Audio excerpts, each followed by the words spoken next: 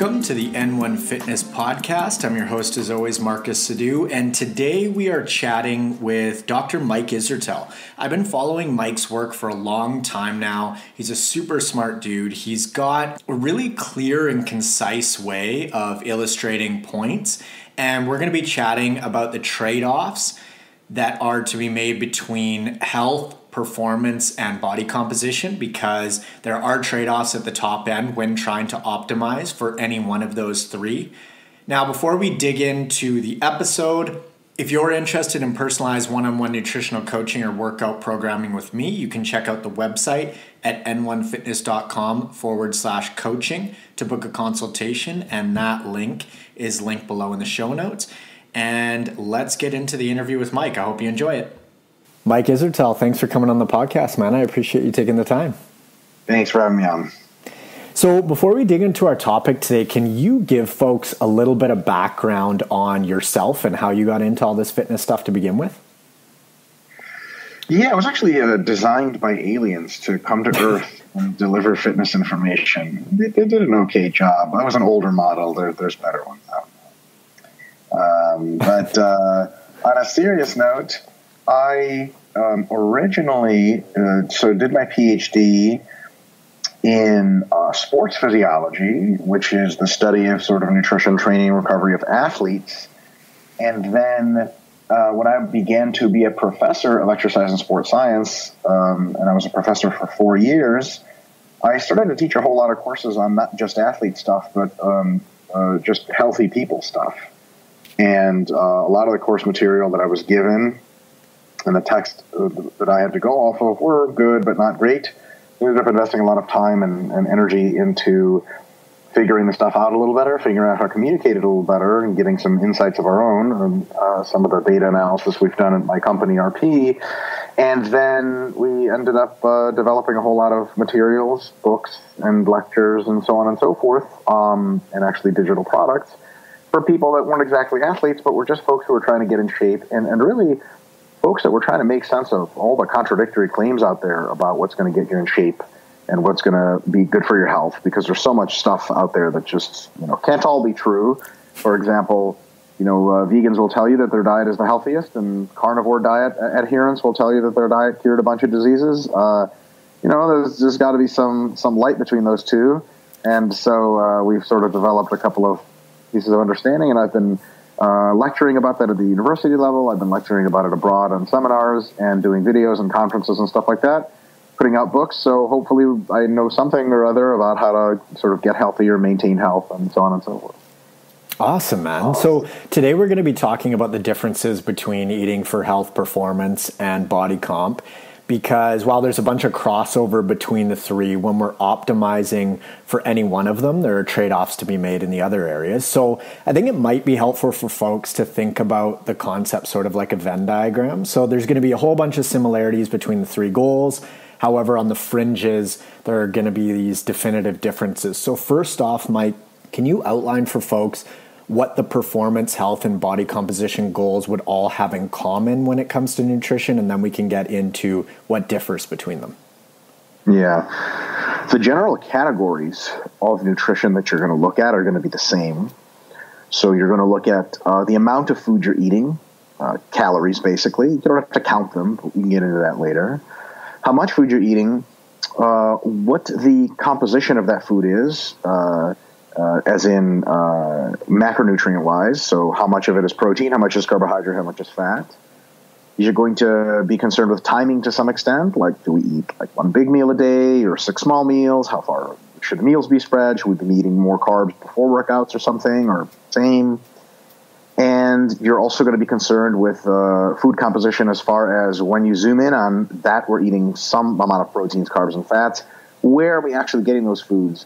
Like, are you getting your proteins from shakes, or are they coming from lean meats, or are they coming from vegan products? Are your carbohydrates just Gatorade powder, or are they fresh fruits and vegetables? Because that seems to have an effect uh, some to some extent. Uh, and then, of course, uh, after that, you are left with sort of supplements and hydration. You know, uh, are you hydrating properly, and to what extent? And what kind of supplements are you taking to support potential health and fitness, and so on and so forth? So all of those general categories are the same. Uh, and then the degree to which they are important depends on if your goal is body composition slash performance, which are very similar intersections, um, and health, which is a little bit different. Uh, I will say that the big commonalities for eating for health and for body composition and performance are that, first of all, calories are always king for all of them. How much food you eat is number one. Number two, uh, for all of them, supplements do very, very little. It does not to say that they don't do anything, but they're just very, very underpowered, a very tiny fraction. So calories are king, supplements are dead last. Hydration makes a small difference for both, uh, as long as you don't really mess it up. And then for all of them, nutrient timing is a significant factor, but a very small factor. Still more relevant than supplements, but just not a huge deal. So, so sort of automatically going to tell us that if a diet being offered by us uh, to us by someone is really, really big on timing, it's probably big on something that doesn't matter a whole lot, right? And then where there are differences, and we can get into this in just a sec, is uh, the degree to which it's important to eat certain amounts of macros, like proteins versus carbs versus fats, and the degree to which the body uh, or the food composition, where those sources come from, matter. Because for diet and health, for diet and performance and body composition, those two actually flip flop to some extent. So, you know, if you're eating the right amount of food and you're making sure to time your meal sensibly and you're not putting too much of a premium on supplements, you're going to be performing at a high level and be very healthy, so on and so forth. But if you want to shift to either a little bit more to performance, a little bit more to health, you're going to have to choose uh, which way you prioritize the macros versus the composition of those macros. Now, when it comes to total calories, so first and foremost, total calories, how does that, how do total calories, uh, total amount of food intake differ between individuals that are after health performance or body composition? Yeah. So the first thing to say is that individuals that are after performance are going to be burning usually more calories per day than individuals not after performance because they're going to be training for performance, which means you usually perform a lot and thus you need more calories. So sometimes you can look at an individual who weighs maybe, let's say, 150 pounds when they're an endurance athlete and they consume like four or 5,000 calories a day. And you're like, oh my God, that, that, that, quote, that can't be healthy. Well, it's actually just completely healthy for them because they are not gaining weight at that level of calories because they burn so much weight off. And you can see endurance athletes go through mounds of pasta and just sit there and be like, "Oh my god, like what, what in God's name is going on here?" You know, like this is just baffling stuff. That can't be healthy, but it turns out in the in balance it is. So big, big thing about performance and calories is making sure to get enough calories you need to fuel your training. Big thing about calories and health is to get enough calories to keep you at a healthy body weight.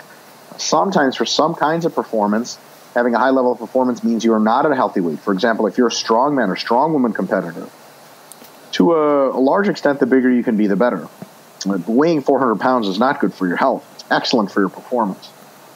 So at some point, you might have to make a trade off. For most people, the trade off isn't very large because if you want to be a great CrossFitter, you're still in a very healthy weight range. But if you're in powerlifting, bodybuilding, strongman, so on and so forth, you may find that gaining a, quite a bit of weight, including muscle, is not optimal for your health. While for health, the calorie balance should be one that keeps you in a healthy weight range, and each height for both males and females has its own healthy weight ranges. This is in, described in our book, Understanding Healthy Eating by, by Renaissance Periodization.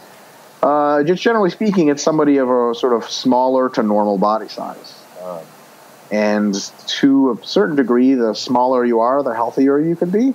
And that that does not go in infinitely because if you get too far underweight, you're all of a sudden going to be sick more and more likely to be in poor and poor health. But uh, smaller people generally live longer and are healthier than larger people. So those healthy weight ranges tend to not go super high.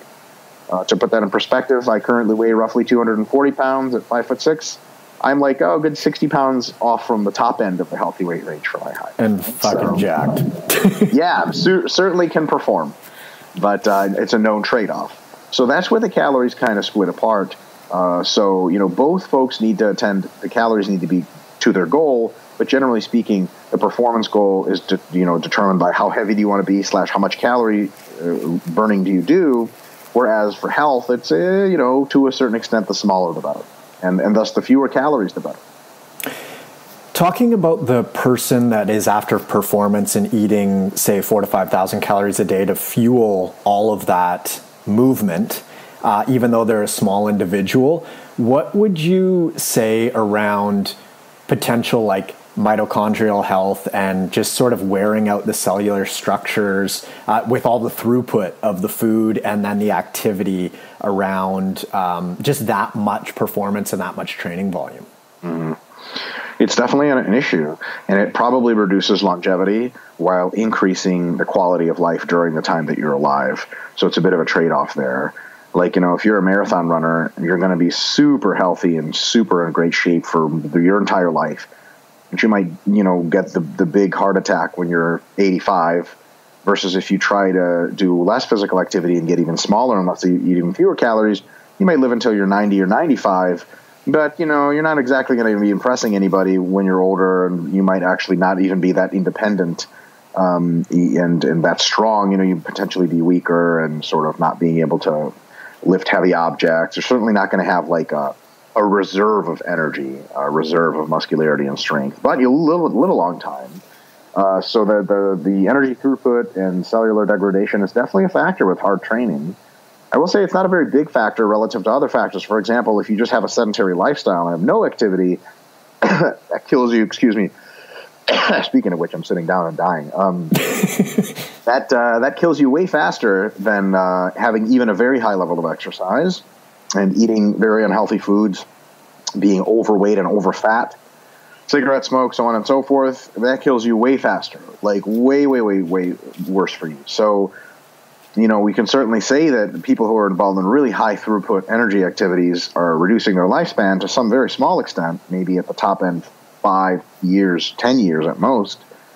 People who are involved in a sedentary lifestyle concomitantly with poor diet and uh, obesity they're reducing their lifespan by 20 to 40 years, right? Way different. And also the morbidity aspect. So the quality of life of someone who trains, quote unquote, too much is going to be amazing until they just drop dead at some point, um, or you know, fall apart in the last several years of their life and then drop dead. Somebody who's overfat, has diabetes, et cetera, so on and so forth, you know, uh, especially as medical technology has improved in our current development of civilization to the sort of intermediate state where medical technology can keep your ass alive much longer than you're supposed to be alive. But that's not a whole lot of fun. And what we end up seeing is an extension of longevity with a concomitant extension of the morbidity. So you just kind of like in really shitty health from age 50 to age 75. And like normally you would die at age 55, but you had a heart attack, you were close enough to a hospital, they sort of fixed your ass up a little bit. Now you're walking around sort of half dead for another 20 years uh, and you're not allowed to exercise very rigorously, and you're sort of still eating like crap, and you can't move around, and you know you have to have a machine to help you sleep because uh, it breathes for you, and so on and so. And it's just uh, you know you're on 50 billion medications. You might be doing dialysis. So uh, I think every now and again people see some research or some insight that oh you know training super hard for endurance is going to reduce longevity, and they're like, see this, is, this is why I'm, I do not exercise, and it's like no no no no you're on the way opposite end of that spectrum and on the much much worse end. So so that probably has to be said. Yeah, man, that's a great point. Now, next up, we've got macronutrients, so protein, carbs, and fats. What are the variances between our three goals when it comes to macronutrient breakdowns? Yeah, it's actually quite easy to, to explain and understand. The um, for performance and body composition, macronutrient amounts are pretty specific, and uh, they're sort of specific to the task at hand. For example, if you are trying to eat uh, in such a way as to increase your muscularity, the amount of protein you take in has to be at least a minimum amount and probably pretty stable amount. Um, and the more the better, up to a certain amount. And so you're in this pretty tight range of protein, which, like, unless you eat that minimum for sure, then you're definitely sort of throwing off uh, potential benefits. In addition, your energy expenditure and training in a variety of other anabolic uh, pathways are maximized by carbohydrate consumption, at the very least to a certain minimum amount. And if you dip below that minimum, you know, you're going to be trading off potential gains. So if you want to gain muscle, you have to eat a certain amount of protein, a certain amount of carbs per day. And thus, by definition, due to caloric constraint, you know, you fill up with protein, fill up with carbs, then you only have so much left for fat. That amount left for fat's just not going to be that high. So a lot of times you could ask a bodybuilder why he's not eating cheesecake and brownies, and you're like, it's carbs, right? They're like, oh, actually, the carbs are fine. It's just each cheesecake and brownie has so much fat in it that it doesn't leave a whole lot of room uh, for me to eat my protein and carbs, and thus I'll be under protein under carbs if I choose to meet the calories. So it's a very specific, very uh, more rigid approach, right? For endurance sport, you have to have enough protein to prevent muscle loss, which is actually quite a bit. Um, and then you have to have an unbelievable amount of carbohydrate to supply and recover training. And thus, endurance athletes also eat relatively low fat diets because, again, they just need to stuff in so much protein and especially carbohydrate. Like a, a strength and body composition athlete might do this much protein and, and this much carb, whereas an endurance athlete might do a little bit less protein or that much carb, but still they reach sort of the same top end of just not many fats left over because you have to have protein and carbs for such an important job. And the sort of commonality there is that, like, look, like we need pretty specific amounts of these macronutrients in the end. Thus, macronutrient ratios and amounts are very important to people pursuing, pursuing body composition and performance. On the other hand, with health, uh, all you have to do is meet what are called health minima for these macronutrients. You have to have just enough protein to make sure your body attends to repair and uh, upgrading of various structures that are made of protein. And that, that is just not a very high amount. Something like 10% of your calories per day from protein is probably enough for most regular folks that are just involved in regular exercise. That's plenty enough protein if you don't want to get super jacked or something. Uh, how much carbohydrate do you need to attend to its various necessary functions? Well, it turns out carbohydrates not even in the technical sense an essential nutrient, but it brings in uh, you know fiber along with it. And if you take carbohydrates in from sources like fruits, veggies, and whole grains, you have a lot of micronutrients that come in. But you can probably get all that stuff with as little as 10% of your daily calories coming from carbohydrate, especially if you get the right sources. And then the question of how much fat do you really need? Well, you know, the research is actually a little bit unclear on that, and some people actually speculate that you need almost no additional fat to be perfectly healthy. Uh, essential fats, if you look at the actual data of how much essential fat you need, because you can't make all the fats you need in your own body, you have to eat some of them. But it's uh, some estimates are to the tune of like as little as one gram per day of essential fats for the average sized person. One gram a day is not, you know, you'll get that just through eating normal food and just maybe having like a tiny bit of, you know, some kind of uh, special fat supplement, like a literal pill every day, and you're golden, right? So, um, so that being the case, uh, we can see, so we can hypothesize that some extra fat intake on top of that is probably healthy from an optimality perspective and we can say, look, you know, at, at very, very, if we're really being pushed, you don't need any more than 10% of your calories per day coming from fats, right? So we have 10, 10, 10. The remainder is 70% of your calories. Where the hell are they supposed to come from? Well, the answer is alcohol. uh, so, which technically provides energy. But uh, so the the question is where. So as long as we get the minimum amount of proteins and carbs and fats, where can we get the rest of our macronutrients? And for for endurance performance and sport performance and muscle building, that's just clearly not the right answer. You need way more of those minima.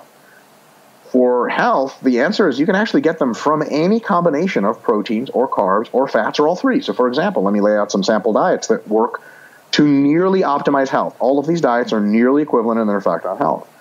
A vegan diet that is intentionally low protein that is 10% protein per day and 10% fat and 80% carbohydrate. Okay? And there's actually like an over a specific literature review on vegans that uh, looked at a diet that was up to 80 percent of calories from carbs, and these people are as healthy as people can be. Then you can say, okay, I really want to eat protein. I want to be a carnivore or whatever.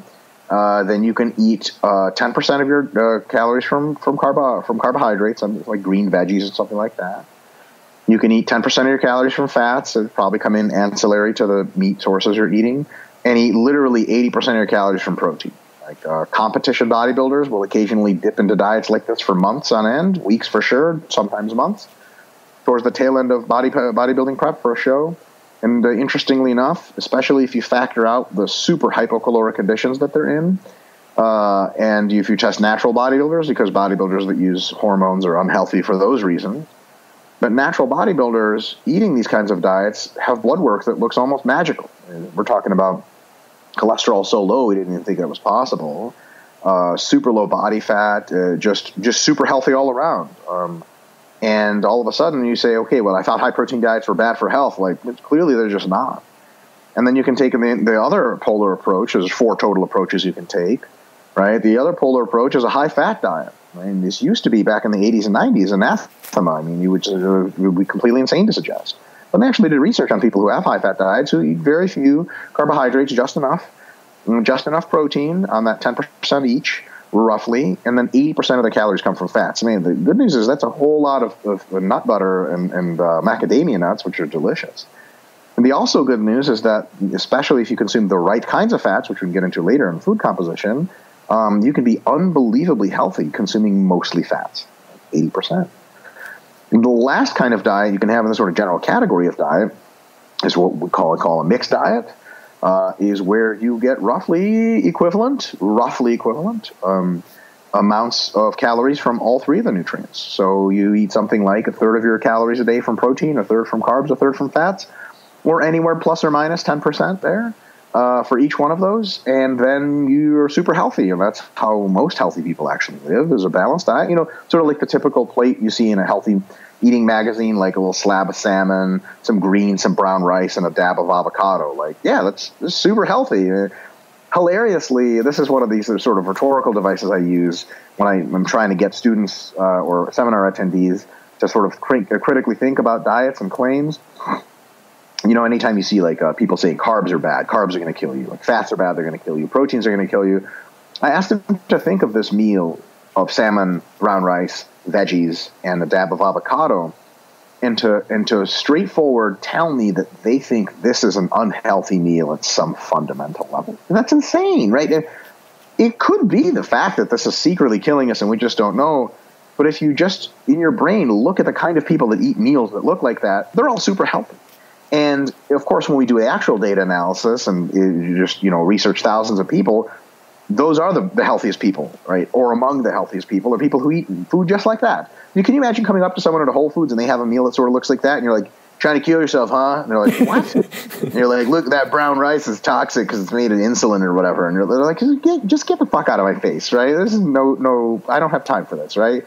So that kind of diet is awesome, but then all those diets in between are awesome. So if someone just has salmon and avocado and greens on their plate, they're totally good to go. If they have mostly brown rice, a a little bit of uh, uh, salmon uh, or just a vegan protein source and a tiny bit of avocado or even none, that's totally good to go. Or if they have like four slices of avocado, a little bit of like turkey bacon and a, you know almost no rice, just some greens, that's also a super healthy meal, right? So all of that stuff. So basically, what we learn from that is so long as you're eating healthy foods, which we can get to whenever you'd like, um, a healthy diet really doesn't depend on the kind of macros you're taking in, right? So when I'm consulting someone or in, investigating someone and, and, trying to figure out how their diet can be healthier, I'm not usually like, how much protein are you eating? Because if I'm consulting someone on body composition, if someone tells me they want to get jacked or they want to run more endurantly, I'm interested in how much protein and carbs they're eating.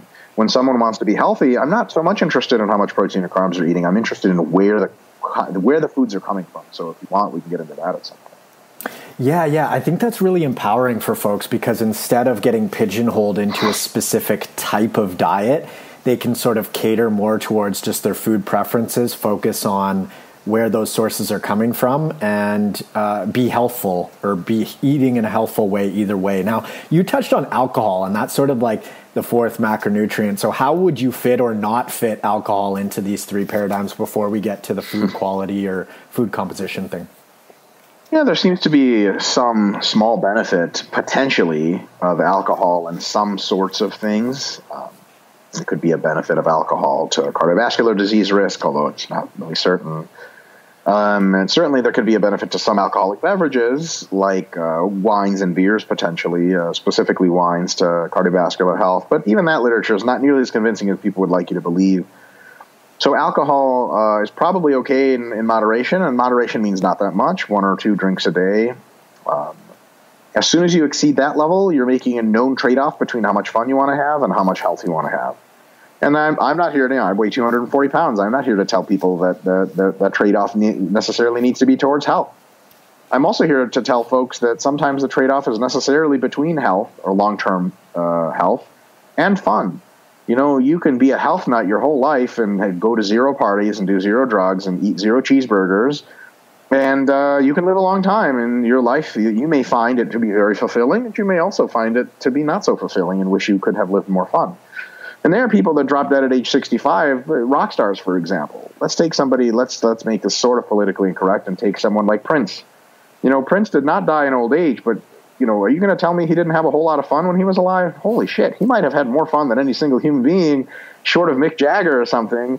right? And so like kind of the rock star lifestyle almost personifies this idea that like, yeah, these guys don't live a long time, but holy shit, they live while they're alive, right?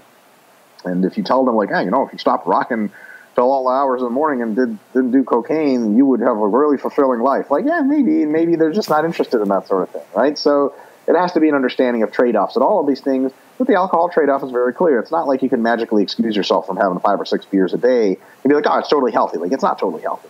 But it's not the end of the world. Uh, if you have 10 or 12 beers a day, it's close to the end of the world if you keep that up. Uh, but it's a sliding scale, you know, and, and the, the, the tipping point for, for sure gets worse is probably any, anything north of two, two to four drinks per day. Anything south of that is probably okay, and zero alcohol is, if I would, I would have to guess, zero alcohol is probably optimal. That's my best guess. I could be wrong. The answer could be one or two drinks, but it's certainly not any more than that, or almost certainly. So alcohol is a, is a known trade-off there. Yeah, and the tricky thing with booze to separate out is like, what are you typically doing when you're having a drink or two per day? You're probably socializing with friends, maybe laughing a bunch, telling stories. Maybe you're out at a restaurant with a nice meal, and it sort of really ties in with that social and community piece that's just impossible to separate out in the research. So it's a bit of a tricky one there. Yeah, totally.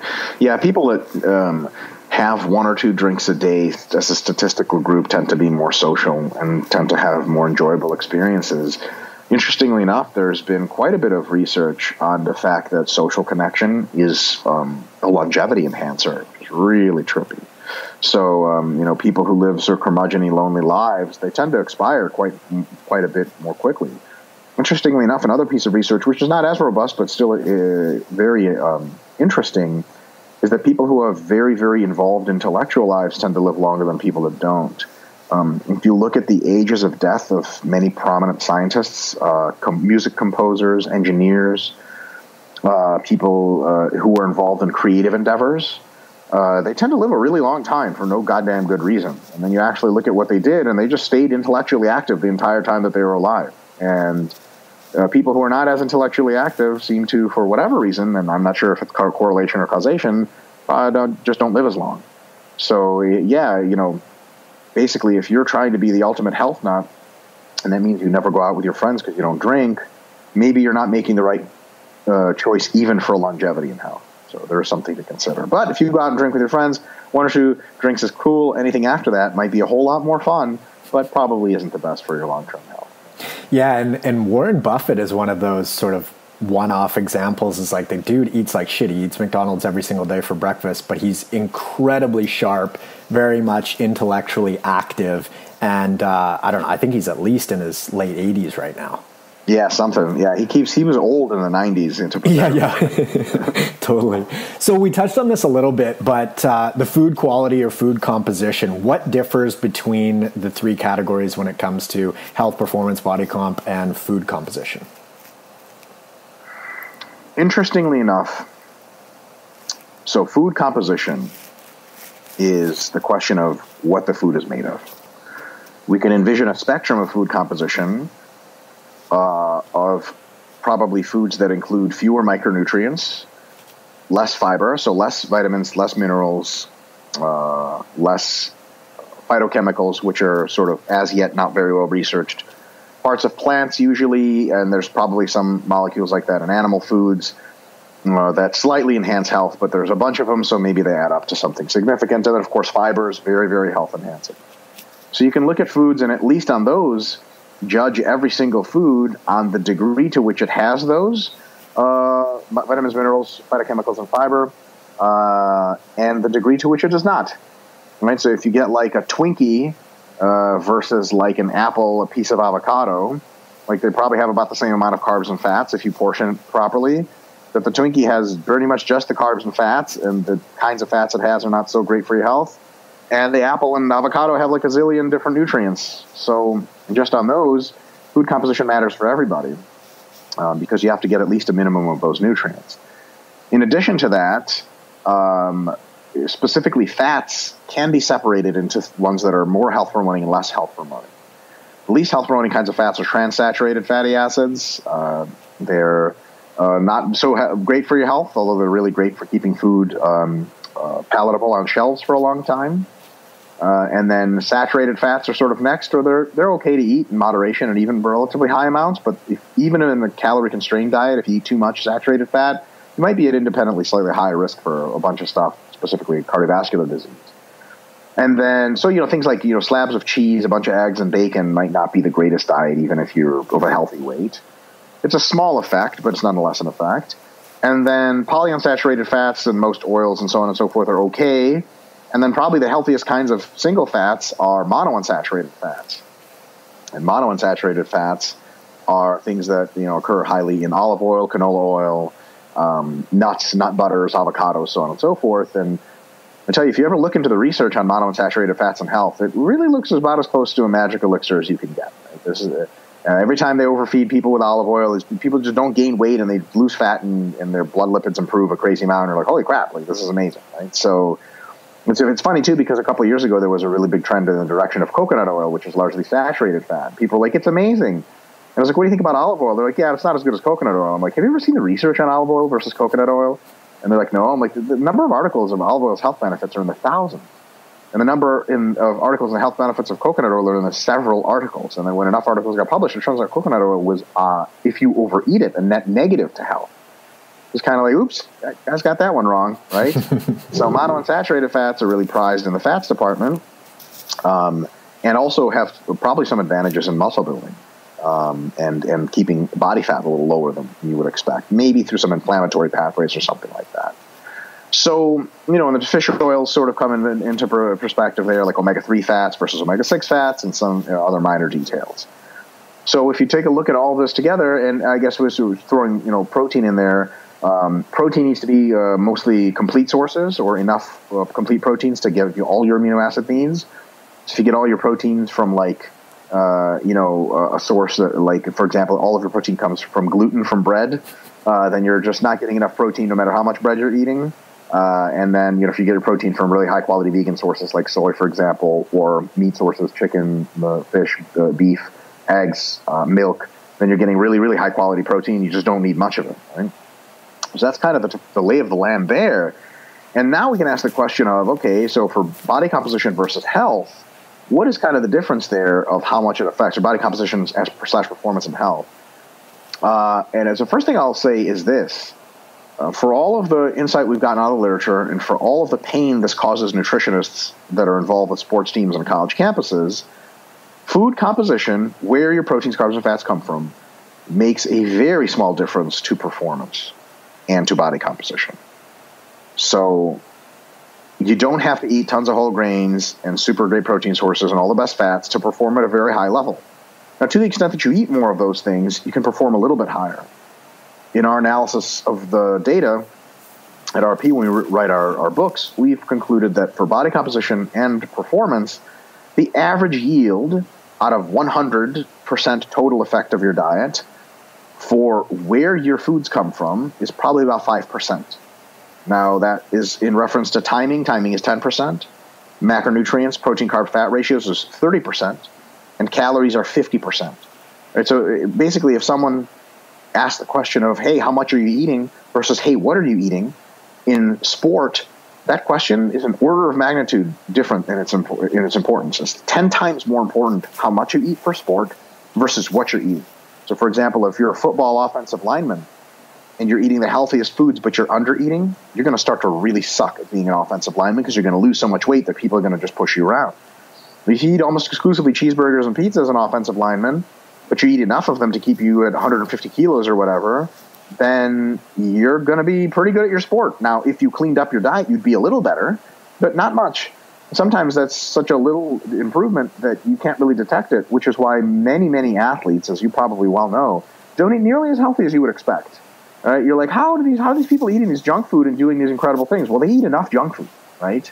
Um, I mean, if they don't, if they undereat, then they just fall apart, or if they overeat, they're really, really bad, right? So, as a matter of fact, one time, one of my colleagues at uh, the PhD program, he's a, a 10,000 meter, 5,000, 10,000 meter runner and I saw him eat an entire box of ho hos in one sitting, just socializing. It was like a 12 pack or something. I was like, oh my God, this guy weighed like 150 pounds. And like, that's like, I don't know, 1,500 calories or something.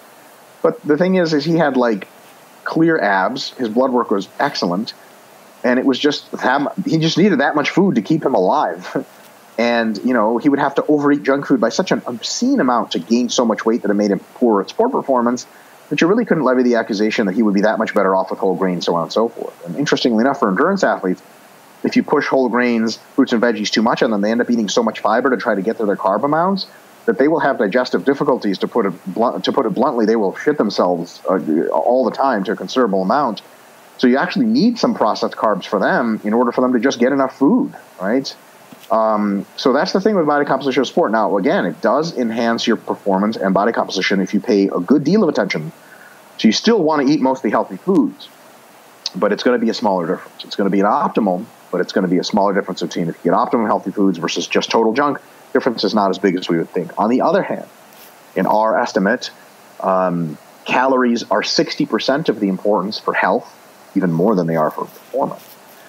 But food composition is instead of 5% that it is for performance and body composition, it is 20% of the importance for health. That's a big deal. It's actually the next biggest thing. Whereas macronutrients, uh, I believe, are 10% of the importance. So, uh, you know, they're just not that important. Uh, again, as as described earlier, if someone's like, "Hey, are you getting enough protein?" Yeah, you probably are for health, right? So it's just not that important because these these huge ranges where you can. But food composition is more important. So if you look at someone's plate and they're an athlete, and you just look at the kinds of food they're eating, you could be like, you know, oh, you should be eating healthier, but mm, you know that's nice. It might make an impact on their performance. It won't be much. But if someone is gearing for health and they have the right macros together and they have the right calories together, but they're eating Twinkies and cheeseburgers, mm, you can criticize what their plate looks like. And you can say, look, if you eat more salmon, brown rice, etc., you probably will be healthier. But to put that in perspective, it, the most important thing is getting enough of the nutrients that you need and sticking within calorie constraints. So if you eat most of your foods, maybe 70, 75% of your food from healthy sources, I can describe those quite easily. Uh, complete lean proteins, veggies, fruits, whole grains, probably in that order, eating tons of veggies, some fruits, and uh, a more limited amount of whole grains, because each one of those has decreasing amounts of micronutrients in it. And then healthy fats, mostly from monounsaturated sources, making sure to get enough omega 3 fats and essential fats. Uh, those kinds of uh, foods should compose 70 to 75% at least of your diet if you want optimal health. But the remaining roughly 25% can come from all kinds of junk food, and it's probably going to keep you just as healthy. So there's this, this really, really sharp curve of diminishing returns from eating healthy north of, you know, 70 to 80% of your diet. So, for example, if you follow someone around for a day and they eat mostly just real good stuff, and then they have a couple of ice cream cones at the end of their day, and you know that that's in the context of total calories, that they don't gain weight from that, they're going to be pretty much just as healthy as someone who eats only healthy food all day long. On the flip side, if you see someone eating ice cream cones, they look like they're at a healthy weight, they look pretty lean. You can't automatically jump down their throat for killing themselves with ice cream if you don't know what else they ate that day or, so to speak, on a typical day right? Whereas, you know, uh, some people would be really tempted to, to want to separate into good and bad foods. It turns out that, you know, it's a really hard case to make that any foods that are junky, uh, you know, uh, are really bad sort of on their own. They're almost always bad if you displace most of your healthy foods with them, first of all. And more particularly, that, that, that, that eliminates that 20% of benefit, which is bad. But then the worst way that junky foods uh, degrade your health is to go into that calorie 60% and start chopping that off because you're over on calories. Right? Uh, one of the biggest ways in which food is unhealthy is you consume so much of it that you uh, exceed your healthy weight. And that's what really gets you in trouble. So when people say oh, Twinkies are bad for your health, if you eat most of your food from healthy sources, you have a Twinkie here and there, they're actually just not bad for your health. It's the clearest way I could state it.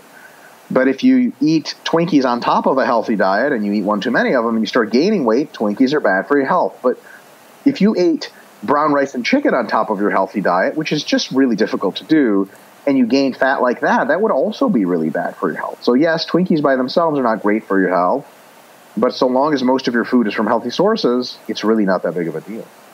Yeah, that's a cool breakdown because I think it puts into context that order of importance and not violating the bigger chunks of the principles. Now, next up, we've got timing. So, in other words, when we eat and then how many meals per day we eat. What are the different considerations between our three three goals on meal timing and meal frequency? Yeah.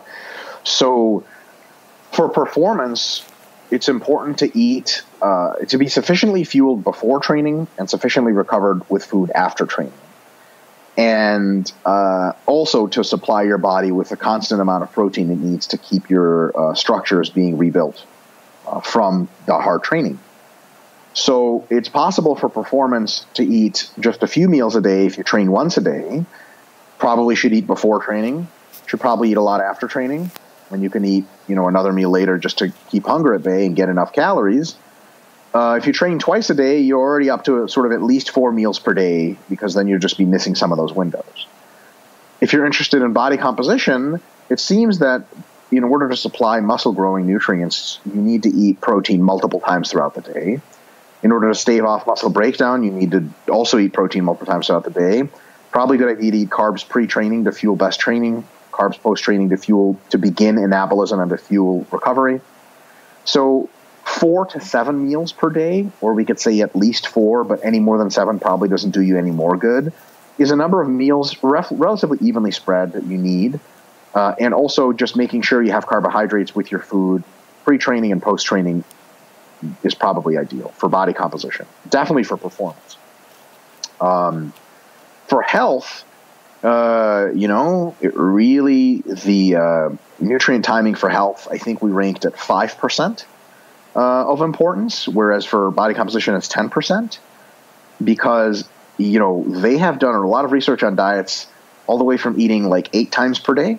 You know the grazing thing, which like in the '90s and early 2000s was a big deal. Like you were supposed to graze, and if someone saw you, this is funny how culture works if in the late 90s someone you know you like basically the ultimate test in life is you're out with other successful business professionals and they judge the kind of food you're ordering and they, they judge your worthwhile character as a human being.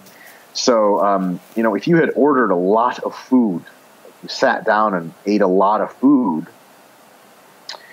um, people would be like, "Oh, I thought it was unhealthy to eat big meals, right?" Like that's you know, like there's that sentiment still with many people that exists, but definitely back in the day was like, "Oh, like, this is clearly just an irresponsible person." You know what I mean? Like a glutton. Um, it, it turns out that you know they put that to the test, and they they've tested diets that are as extreme as what's called alternate day fasting, which literally means you don't eat food one day and then you eat a whole lot of food the next day and you repeat so far as I can tell from our analysis of the research, which was done last two years ago, but there was already a ton of research out there, and you know, the more research that builds, the less likely it is to change the the the average uh, insight. Um, and I've stayed in touch with the literature since then, and I've seen no major shifts. To the extent that I'm aware, if you told me six meals a day is healthier than alternate day fasting, you to a, a, a an intelligent layperson who can read scientific studies would have a very hard time convincing them of that fact just based on the research. I would like to believe that that's true because I'm a bodybuilder and I eat six times a day, but it's just probably not, right? And if it is true, it's maybe by the smallest of margins. So, for example, if alternate day fasting means that your activity levels on the days you're not training are super duper low and that's unhealthy, that's an argument for eating enough meals just to stay active. Another one is, you know, you're at work and you still expected to work. Right? Your boss isn't going to be like, "Hey, you get those reports done," and you're like, "Boss, I'm not eating today, so I'm not doing anything at work." You're like, "What?" like you know, your brain doesn't work all that well when you don't eat, right? So if you eat food just to keep you working, uh, that, then that's there may be a limit on how much fasting can help in that case, right? But some people don't seem to need a whole lot of food, and they at least fast for a first half of the day and feel quite energized, especially with some coffee. So there's some, some leeway there. So it ends up being that when we ask the question of for health, what is the optimal meal number and frequency? The answer is, you know, if over the course of several days you meet your calorie needs, you're probably within the clear of general approaches. And then if you want to get more specific, like if you find that you have the energy for daily tasks, whatever meal frequency gives you that is good enough. Some people can eat two meals a day and kick kick ass. Some people, and you maybe know some people like this personally, they just they're kind of like a machine. They kind of buzz on just always eating, right? Like, there's people that skip a meal and they just go hypoglycemic immediately, and they're like, I need food, otherwise I cannot function. And There's totally people like that. So we got to be careful going one way or the other because sometimes people say, well, alternate daily fasting has some unique health benefits. It really actually does. The problem is it has some unique health downsides as well, and it really comes down to the individual. So if you do alternate day fasting or intermittent fasting where you eat for only a small part of the day, if it works for you, if you can have high energy, you can be productive at work, you can still train pretty hard or like, you know, get your normal daily exercise, totally good from a health perspective. But if you feel like you need or if you've experimented and you really just need to eat sort of more around the clock, at least every three or four hours or five hours, then that's totally cool.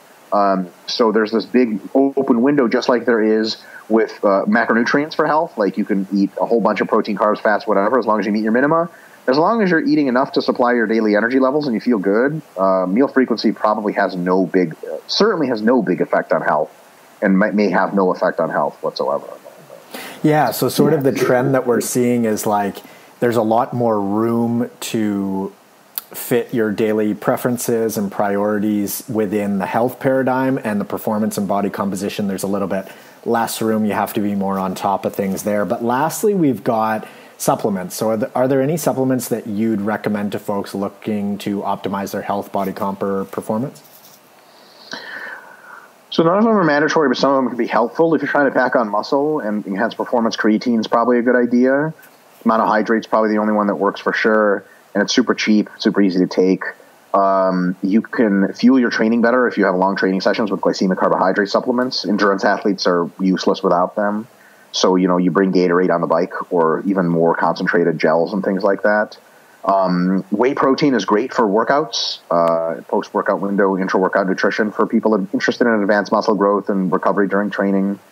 Casein protein is a cool option to take at night because it sort of feeds your muscles while you sleep, but you can get it from milk and yogurt and all this other stuff. Uh, a multivitamin every day is probably good for everybody, uh, just to make sure you're rounding out your intake and make sure, like, you know, have some off days here where you're not eating a variety of foods, and that's just good, uh, good practice, no downside. And then uh, fish oil, uh, omega 3 supplements might have some advantages for performance, but they're probably minor and not worth the benefit. And then uh, caffeine. and other stimulants are pretty cool for performance enhancement. They have to be used intelligently, make sure they don't interfere with sleep, so on and so forth, cycled appropriately but for performance enhancement, caffeine can be a really good, effective supplement. And as far as health is concerned, multivitamin is a good thing to have. And then there are, you know, maybe fish oil, depending on the literature you look. It's not nearly as promising as uh, people once thought. Or basically omega 3 DHA EPA supplements. And then after that, uh, the supplements become very population specific. So, like, uh, for example, pregnant women may need a supplement, um, vegans may need a supplement with some very specific supplements that aren't just 5% of the effect. They're pretty meaningful. But other than that, supplements for health are really just kind of a misnomer out of the get go. And hilariously, there are sort of my least favorite kind of store is a health food store that is mostly supplements. Whereas, like, you know, if I get a supplement store that's mostly for people looking to enhance their performance or body composition, you get protein bars, you get protein, creatine, all this cool stuff, shakes. Um, that actually does stuff. It doesn't do a lot, but it does something when you know you've ever been to a, a, health supplement store. You're from where are you from? Vancouver. Yeah. So I guarantee you've seen these things. Uh, you get into the store and you're like, I need protein. And they're like, we don't carry a whole lot of protein because it's bad for your gut or whatever. And you're like, okay. And you look at stuff and it's just a bunch of different herbs and vitamins and stuff and like usually individually packed. Or like, really, someone needs this much B12? Like, okay. So uh, and basically being as as politically correct as it can be, most of the stuff on those shelves is is just not necessary for health in the slightest. Some very specific populations may benefit, and that's up to you and your nutritionist to decide. That if you think like if you're a healthy person, you basically want all those salmon, avocado, brown rice people. Right, you're walking down the street and you see health food supplement store, and you walk in and you look at all the stuff, and you're like, oh my god, like should I be taking all this stuff? Like this is, you know, like am I missing something? The answer is you're absolutely not missing anything. And if you spend too much time at a store like that and spend your money, you're probably just wasting a whole lot of money. Totally. I mean, the the health food store is the grocery store. So um, exactly. before before we get to where folks can find more of your work, Mike, is there anything that we didn't get to today that you think is worth mentioning, or is there anything that you'd like to leave the listeners with? I would love to leave the listeners with the idea that sticking to the core basics and eating mostly healthy foods and having a little bit of junk here and there is the surest and most easy, most straightforward path to health. It was the most uh, likely to guarantee your health. And that anytime you look at some kind of claim that says you need to drink this supplement, this herbal tea, or the way to enhance your health is to eliminate vast swaths of your typical foods and diets, that some foods are poisonous. Um, for example, people, uh, you know, we're talking about whole grains have anti nutrients, like things that prevent the absorption of vitamins and minerals. The thing is, almost nobody in the United States is vitamin or mineral deficient in any way that would be concerning. So it's kind of like, okay, that's nice if you exclusively subsist on whole grain bread and you live in East Africa and you're starving to death. Yes, that's the thing. But other than that, it's just not a thing. So people get on these buzzwords and catchphrases, usually from people trying to push an ideology or make money or both. And then they start to think like, oh God, like what? I've been lied to. You know, my normal healthy diet, uh, you know, the, the whole salmon plate thing, that just, geez, that's just wrong. If you're so tempted to go down that route, just remember the fact that most of that is total BS. So eh, don't worry about it and just stick to the basics and you'll be okay. Uh, and a lot of people are going to do these other crazy diets and buy these supplements, and they're going to be wrong. And if you ask the question, can that many people be wrong? Um, the answer is yes. Uh, there's a very well documented phenomena of mass delusions and the insanity of crowds. People subscribe to all kinds of crazy ideas. Uh, you know, whatever political party you think is the right one, just look at how many people vote for the other one. It doesn't even matter what the right answer is. Clearly, some of us are way wrong and some of us are way right, and so on and so forth. So, uh, you know, because a lot of times, and the reason I point this out is people will hear so much about a product they'll they'll have this idea like, well, gee, but there's got to be something to it, right? Like, for example, CBD oil. Like, it's our estimate that CBD oil probably does a whole lot of mostly nothing. And some of the effects it has are probably just really small beneficial effects. So it's cool to take it, but you don't have to, like, remotely. But how many, I don't know what, what it's like in Canada, but how many advertisements for CBD oil do you typically see? How many podcasts? I mean, it's just like wave of CBD oil. And so most folks who aren't experts in nutrition can be like, you know, they hear about it at work. They hear Joe Rogan talks about it.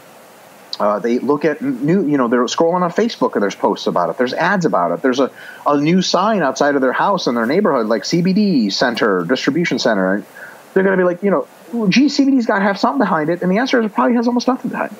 And that's crazy, but it's just, it bears repeating that people will do all kinds of crazy stuff and different generations have different crazy stuff. And in the 90s, if you ate saturated fat, you were just trying to commit suicide as far as people were concerned. In the 2000s, if you weren't stuffing avocados down your face, you were reckless and so on and so forth. Don't fall for the fads, stick to the basics.